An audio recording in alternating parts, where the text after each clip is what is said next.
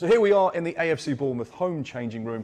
And I've got to say, I think this sofa is an addition just for us. This is not regularly here. No, I don't think so. I don't know where it's from. I was going to say, it'd be quite cool if you did a, like a team talk and you were all sat on sofas Yeah. there, relaxed. A bit relaxed for an intense game, yeah. Probably don't make sense. Would that be the right vibe? Yeah, I think so. Right, there's actually a reason why we're here. This is Lewis Cook's Gogglebox. Yes. because we are going to watch the last section of the Everton AFC Bournemouth game. Have you watched this back yet? Um, I've watched the second goal back a few times. Oh, okay. I wonder why. Obviously seen the highlights and yeah, it's been everywhere to be fair. Okay, well, let's do this. Lewis Cook's Gogglebox. So currently 2 0 down in the 86th minute. Is there a belief that actually we, we can get into this? We can, we can find a goal? I don't know if people look at the, the, the clock, see where it's at. Um, I didn't know what minute we were on, but you just got to carry on fighting, to be honest. And like I say, one goal changed it, and, and we got that goal. Dango comes on here and puts an unbelievable cross in. Ouattara. Oh, it's in! They have got to go back. Brilliant cross, isn't it?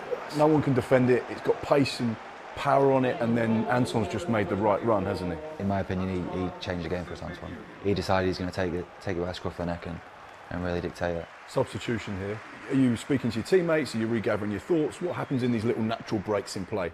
when you score a goal, the, the next 10, 15 seconds, uh, everyone's sprinting around trying to get the ball back because you can get another one quickly. So, yeah, I think we're just gonna we were just gonna keep keep going and, and try and get the, the second one. Sean Dyche going mad. Can, can, can you hear Dyche? Can you Yeah, Yeah. You can hear him. Yeah, he's got a deep voice. So this is 90 minutes. Yeah. 2 1 down, six minutes of added time.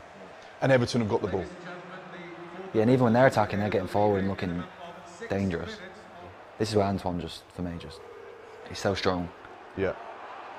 He didn't pick out the best pass, but he wants it again. See, Yeah. he keeps going. That's incredible work rate when you're in the 90th minute. Yeah. I think this is the lead up to the goal now, isn't it? As much as well. This this pass is. No one really probably spoke much about this pass, but that's got a bit of side spin, bit of check. It's perfectly weighted. Yeah. And what are you thinking at this moment? I'm just thinking I never really make the box, so with nothing to lose, may as well make it. Kluivert waiting in the middle. And Lewis Cook arrives! An extraordinary comeback from Bournemouth! From 2 0 down to 2 2, just like that. And Everton will be absolutely kicking themselves to bits. And just it was an unbelievable cross. It set up perfectly. And your header. Yeah. Even you're saying that. Yeah. I score with a head. Yeah, I didn't have a celebration from a little boy, but Yeah. but yeah, I scored a head in training the day before, and everyone was like cracking up, like laughing and stuff. Were they? Unbelievable header. Really? Promise you, I'll show you it. Okay. It was next level. In my opinion, I'm quite good in the air. Yeah. See, I've never, I never make the box because I'm always like the deep line midfielder. Lewis Cook's first ever Premier League goal and only his third goal for Bournemouth. Mm-hmm. No one's followed you. No one's tracked you as well. Yeah. And it's that tired legs at the end of the game for Everton, and you've just exploited it. Yeah. I mean, it wasn't like a, a really fast run into the box. It was just kind of, yeah, just floated in there. But yeah, like I say, it's it's not possible without a, a cross like that. As soon as it hit your head, did you know it was going in?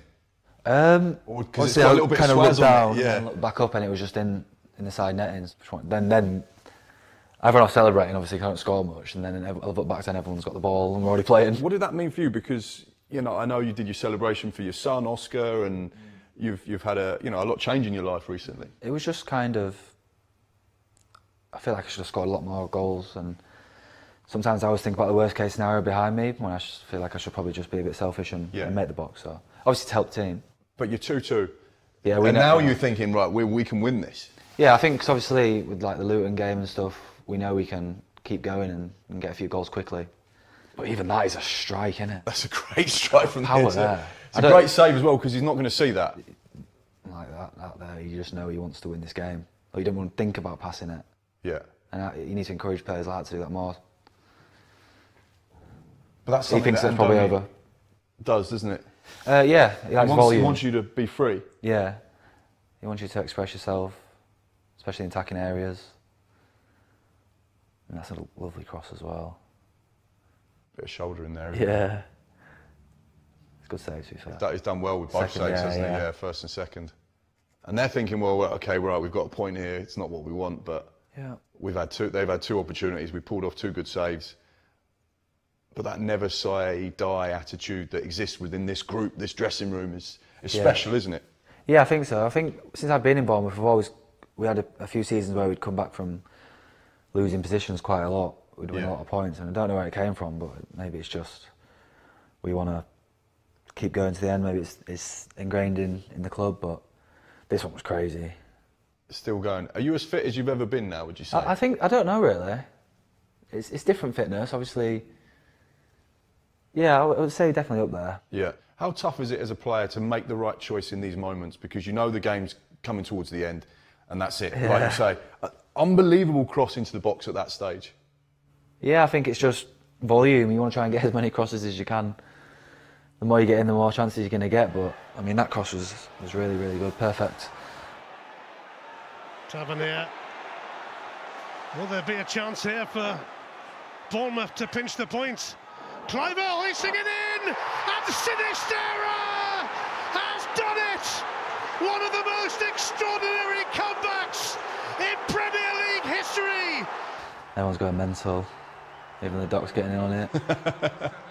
he needs to turn that round, it's upside down, but it's fine. yeah, I don't know what they're thinking. They're probably They must be gutted, but what's Yeah. the emotion for you?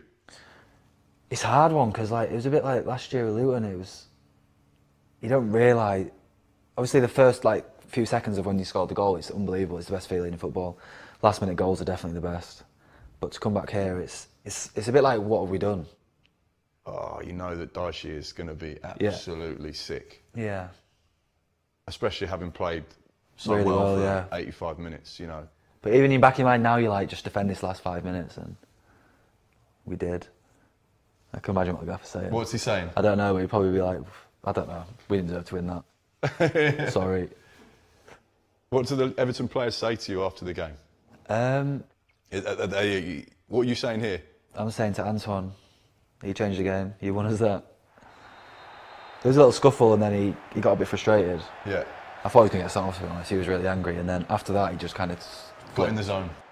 What's the gaffer saying to you here? Can you remember? Uh, I was speaking to the gaffer. I don't know what I'm saying. Something about my performance, but scoring a goal. he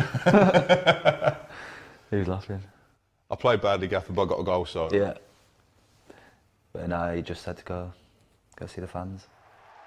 And those moments are the moments you live for, isn't it? And especially, I guess, as, as a footballer, you can appreciate the, the, the travelling, the cost, the expense, Oh, yeah. the, the day out, and to reward the fans with that moment. Yeah, we'll never forget that as a players and, and, and the team, but the fans definitely won't. I could imagine. Obviously, I haven't been in many away fans for a while, a while like as a supporter. Mm-hmm. But I reckon that was, yeah, scenes, One of the, yeah. limbs, what was it? Limbs, limbs in the away end, Yeah. scenes in the away Yeah. end. Is this the perfect platform to, to really push on again? We played all right. Uh, we know we can still play better. But um, sometimes when you play bad and you win games, it's, it's not the worst thing. If teams know you can score three goals in the last 10 minutes, that will insert a level of fear. And, that, and you go into games knowing that you've got that in that dressing room, in this dressing room. That must be such a positive thing for you as one of the, one of the leaders of the group. football's quite a stat game now, especially for analysts of different teams, and they know when different teams score different goals. There'll be teams that score the most of the goals at the end or at the start. Um, not many at the start, but yeah, it shows that people will be watching us and, and knowing that they've got a game on their hands for, for 95, 96 minutes. And you've got your first Premier League goal now for some time. Yeah, first one, yeah. Yeah, it was, a, it was an amazing for feeling. a long yeah. time.